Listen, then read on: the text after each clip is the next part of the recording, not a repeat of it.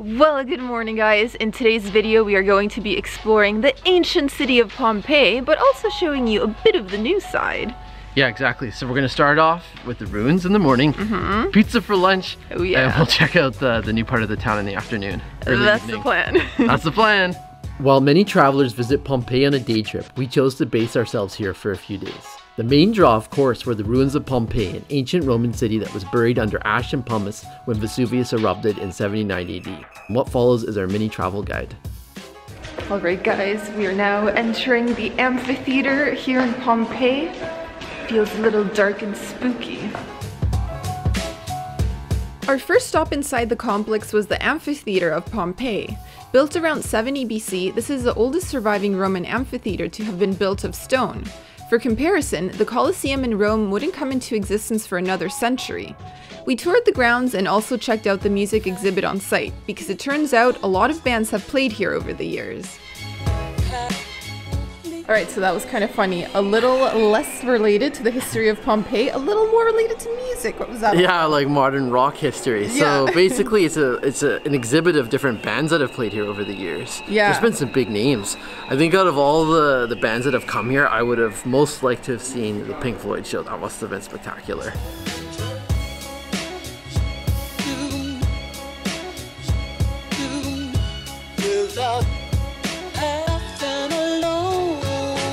Well, this is a cool little spot. We can't actually go in because the gates are locked, but we have a vineyard and right behind you can see Mount Vesuvius.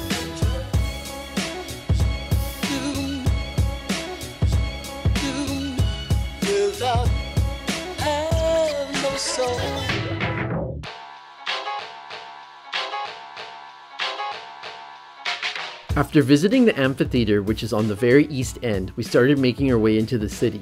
The streets were cobbled and all along there were rows of houses and villas, many of them with impressive frescoes that tell the tale of a wealthy city with lavish homes.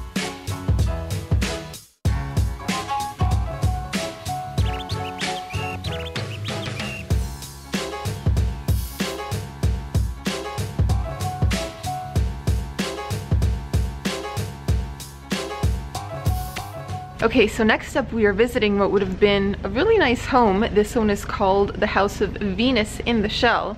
And if you look over my shoulder, I think we all know why.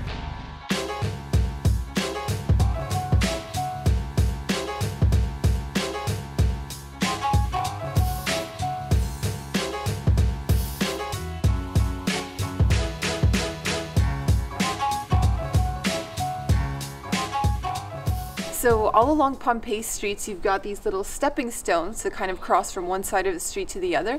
And that's because they used to have water just running down the streets to keep them clean. So yeah, this would have been your little bridge.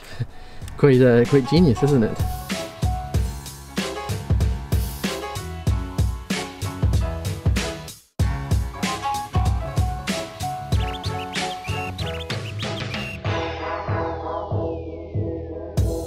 One of the reasons Pompeii is so well preserved is because it was buried quickly by volcanic ash and pumice, plus the lack of air and moisture also allowed for the buried artifacts to be extremely well preserved. Stepping into the homes is like stepping into the past. You can still see the elaborate mosaic floors and vibrant frescoes frozen in time.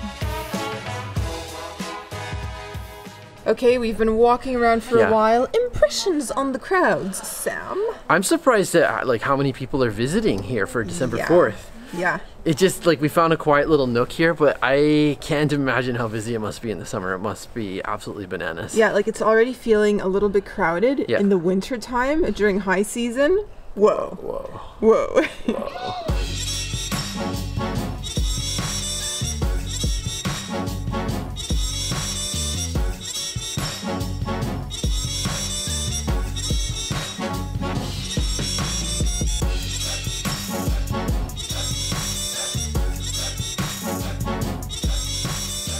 Okay guys, so we figured we would take a minute to talk about the price. So entrance to the archaeological site is 13 euros per person and you get this little brochure which actually unfolds yeah. into this massive map of yeah, the whole archaeological park so you know where to go. Something that surprised me is just how big the the the, the site is. Like this is massive. It's huge. You could spend a whole day here easily. Yeah. Yeah. Okay, also, here is a little tip for you. When we were walking in, we were approached by someone. I dropped my ticket. Whoops. when we were walking in, we were approached by someone who said they worked for the tourist office. Um, and we were asking, like, oh, is this the entrance? And he's like, oh, yeah, come, come, you buy the tickets here. And then when we went in there, they were trying to sell us either a guided tour or an audio tour. And they told Yeah. us those are the only two options to visit Pompeii. And we're like, this sounds a little bit No. fishy. So we walked out of there, and it turns out you just buy your tickets Yeah. right at the entrance. You don't need a guide, you, You don't don't. need an audio tour if you don't want to pay extra. So yeah. Yeah. Where? So you do you do have those options, and yeah, just Yeah. just know that to buy your ticket, you go to the main entrance. That's Yes. the key point. Oh, tick.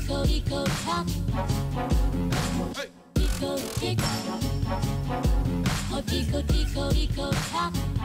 Continuing our walk through Pompeii, we eventually reached the Forum. This square would have been the center of life for locals, with temples, municipal buildings, and markets. The statue of the centaur, half man, half horse, is a focal point, as is the view of Mount Vesuvius looking down on the ruins.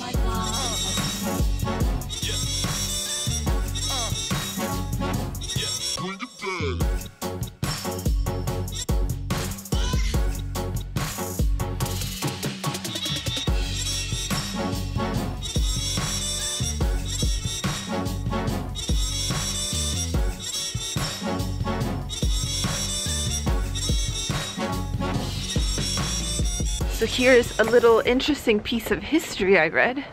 Apparently, when the volcano erupted in 79 AD, one of the reasons that Pompeii wasn't expecting it is because they didn't even know Mount Vesuvius was a volcano. They thought they just lived at the foot of a mountain.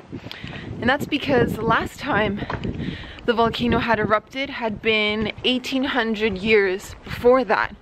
So either they had no records of their history or they had lost it or it had been long forgotten. Either way, they were very unprepared for what came.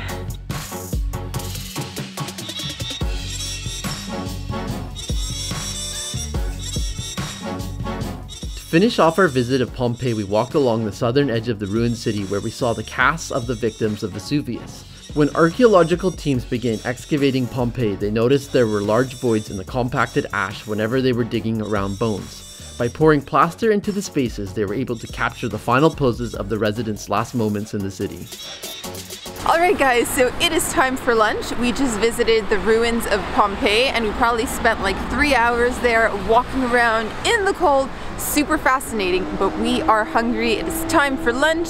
So today we're gonna take you to one of our favorite pizzerias in all of Yeah. Pompeii. This is gonna be our third time going there and we, We- haven't been in town that long. we found it the first night, Yeah. and it just seems like a nice, like, family-owned business. yes. And so we'll go back again. Why not? One of our best discoveries of our time in Pompeii was Pizzeria Alleria. We stumbled here soaking wet on our first night in the city, and we just couldn't stay away after that. Here's what the fuss is all about. Oh my god! Oh my gosh, the pizza is here and it looks amazing. We ordered the margarita with the buffalo cheese and we finally got it right Yes, because we saw someone eating this pizza on the first night.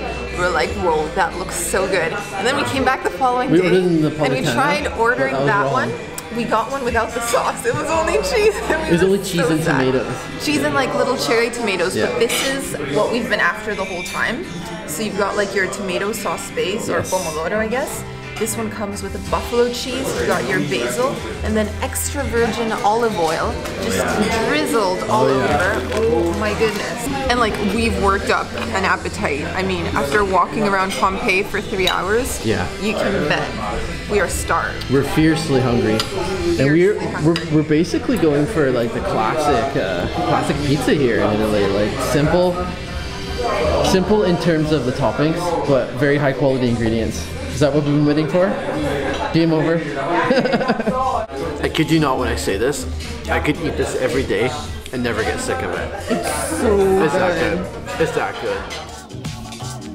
After that, we ended up getting a second margarita pizza. The first one was just too tasty. And then we also ordered the Nutella cheesecake, which was just as decadent as it looks. Okay guys, so we've now had our lunch and it is time to explore modern Pompeii. The only thing is, it is freezing cold, so I don't think we're gonna last very long. But we're here in front of the church in the main square, so Yeah. we're gonna take you on a little tour. Little a tour of quick the area. Tour. A very quick tour, and then we're gonna call it a day. Yes! We started our do-it-yourself tour of modern Pompeii at Piazza Bartolo Longo, a beautiful plaza lined with palm trees right in the heart of the city. Standing in the square, it's impossible to miss the Shrine of the Virgin of the Rosary of Pompeii, where once you step in, you're greeted with painted domes and golden ceilings. And then from there, we went to the top of the bell tower for a 360 degree view of the city.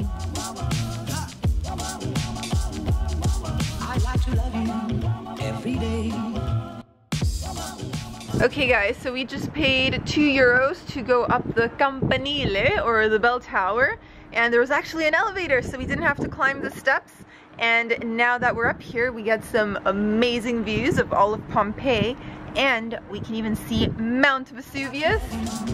Ta-da!